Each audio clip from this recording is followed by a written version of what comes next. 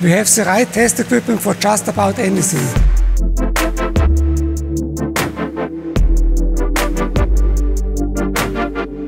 Components today must be more efficient than ever before, not just once, but for the vehicle entire life cycle.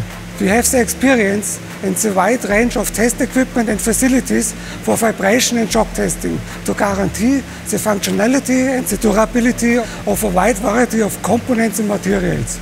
Here in Ingolstadt, in test facilities covering 6,000 square meters, more than 70 testing specialists work in the fields of environmental simulation, vehicle safety, interior and exterior validation, vibrations and acoustics, and electrics electronics. We offer similar testing services at five further locations.